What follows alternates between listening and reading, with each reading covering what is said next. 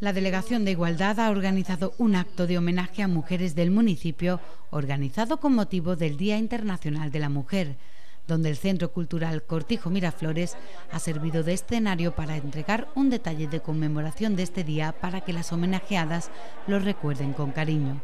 Mujeres del municipio que son todo un ejemplo por su trabajo y dedicación programa bueno, pues cargado y con muchísimo compromiso por la igualdad que empieza con este acto de conmemoración en el homenaje bueno, pues merecidísimo a, nuestras madres, a nuestras hijas, a nuestras abuelas, a las mujeres de todos los rincones de nuestra ciudad y para ello hemos contado con la colaboración de los distritos.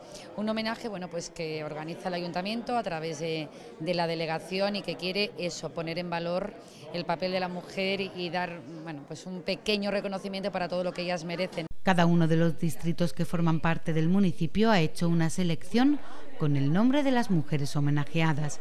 La mayoría ha acudido al cortijo Miraflores sin saber por qué estaba allí, por lo que se han llevado una grata sorpresa.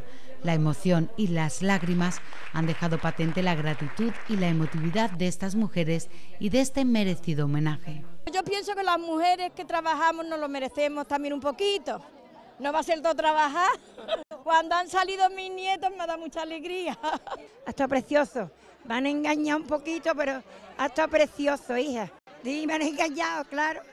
Yo he llorado y todo. Llevo 57 años trabajando y yo 24 viudas y he tenido que criar a mis hijas. Muy bien, le doy las gracias a mi hijo por ser el cabecilla de familia y a todos vosotros y a todo, a todo el mundo entero. Luchando toda la vida, dice, ¿por qué no has dicho que te levantas a las 6 de la mañana?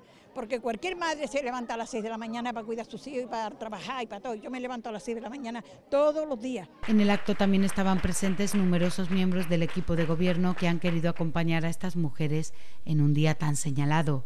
El acto forma parte del programa de actividades para conmemorar el Día Internacional de la Mujer que ha organizado la Delegación de Igualdad y que continuará durante el mes de marzo y parte de abril.